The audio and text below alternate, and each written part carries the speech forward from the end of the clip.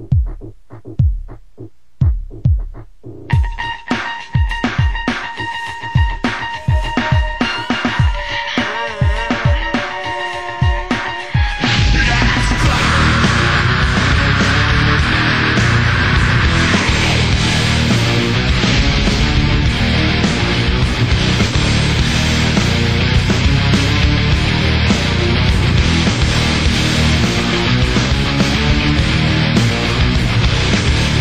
face to face. Loyalty is what